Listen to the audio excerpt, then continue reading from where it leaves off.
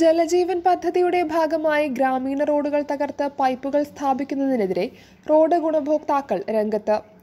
മാറഞ്ചേരി പരിസരത്തെ വീതി കുറഞ്ഞ കോൺക്രീറ്റിൽ നിർമ്മിച്ച മസ്ജിദ് റോഡ് പൊളിക്കുന്നതിനെതിരെയാണ് റോഡ് ഗുണഭോക്തൃ കമ്മിറ്റി രംഗത്ത് വന്നത്. കോൺക്രീറ്റ് റോഡ് ആരംഭിക്കുന്ന രണ്ട് ഭാഗത്തും മുന്നറിയിപ്പ് ബോർഡുകൾ സ്ഥാപിച്ചാണ് പ്രതിഷേധത്തിന് തുടക്കം കുറിച്ചത്. രണ്ടാവശ്യങ്ങളാണ് ജനങ്ങൾ ഉന്നയിക്കുന്നത്.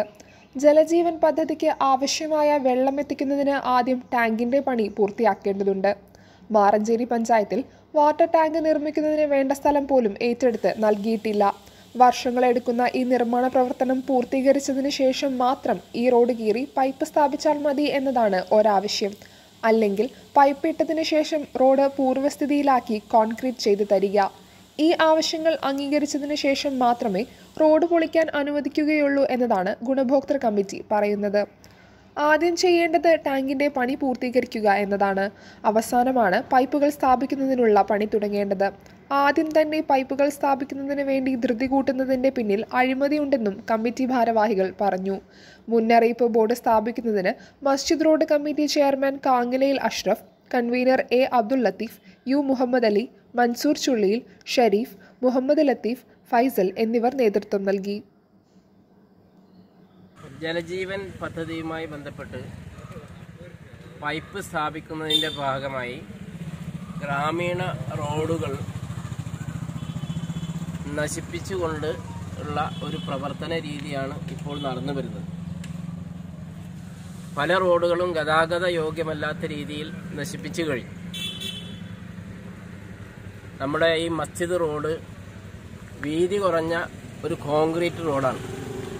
ഇതിലൂടെ പൈപ്പുകൾ സ്ഥാപിച്ചാൽ പൈപ്പുകൾക്ക് സ്ഥാപിക്കാൻ വേണ്ടി കുഴിയെടുത്താൽ ആ റോഡിലെ ഗതാഗതം പൂർണമായും തടസ്സപ്പെടും.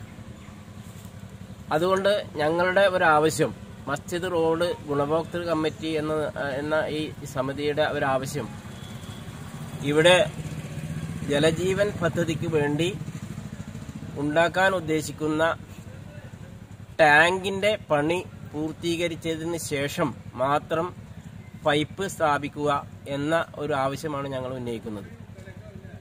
സ്ഥലം പോലും എടുക്കാത്ത പൈപ്പ് പിന്നെ ടാങ്കിന് സ്ഥലം പോലും ഇപ്പോഴും എടുത്തിട്ടില്ല. സ്ഥലം എടുത്തതിന് ശേഷം ടാങ്ക് പണിത് രണ്ടായിരത്തി ഇരുപത്തിനാല് ലാസ്റ്റിലാണ് അത് കമ്മീഷൻ ചെയ്യുക. അതുവരെ ഈ മൂന്ന് വർഷത്തോളം ഈ റോഡുകൾ തകർന്ന റോഡുകൾ അതേപടി ആണ് കിടക്കുക. അത് പുനഃസ്ഥാപിക്കണമെങ്കിൽ അത് ആ പണി പൂർണ രൂപത്തിലാവണമെങ്കിൽ അതിലൂടെ പൈപ്പിന്റെ ഗുണമേന്മയും അതുപോലെ തന്നെ വെള്ളത്തിന്റെ ലഭ്യതയും ഒക്കെ ഉറപ്പുവരുത്തിയതിനു ശേഷമേ അത് പൂർണമായ രീതിയിൽ മൂടുകയുള്ളൂ. അതുവരെ ഈ ഗതാഗതം തടസ്സപ്പെടുന്ന രീതിയാണ് ഉണ്ടാവുക അവസ്ഥയാണ് ഉണ്ടാവുക. അതുകൊണ്ട് നിലവിലുള്ള രണ്ട് ഡിമാൻഡുകളാണ് നമ്മൾ സംബന്ധിച്ചിടത്തോളം ഈ ഈ റോഡ് പൊളിക്കുന്നതിന് മുമ്പ് നമ്മൾ ഇതിന്റെ അധികാരികളോട് പറയാനുള്ളത്. ഒന്നത് ഈ റോഡ് പൊളി പൊളിച്ചാൽ അതേപടി എത്രയും പെട്ടെന്ന് പുനഃസ്ഥാപിക്കാൻ പറ്റുമെങ്കിൽ മാത്രം പിന്നെ പൊളിക്കുക. കോൺക്രീറ്റ് ചെയ്ത് തരാൻ പറ്റുമെങ്കിൽ ആ പിന്നെ ആ സമയത്ത് മാത്രം പൊളിക്കുക.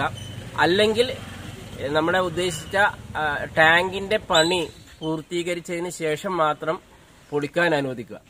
ഈ രണ്ട് ഡിമാൻഡുകളാണ് ഞങ്ങൾക്ക് പിന്നെ അധികാരികളുടെ മുമ്പിൽ വെക്കാനുള്ളത്. വെള്ളം കൊണ്ടുവരുന്നതിന് ഞങ്ങൾ എതിരല്ല. വെള്ളത്തിന് വെള്ളം മനുഷ്യന് ആവശ്യമുള്ളതാണ്. അതോടൊപ്പം തന്നെ ഏറ്റവും പ്രധാനപ്പെട്ടതാണ് ഗതാഗതം എന്നുള്ളത്.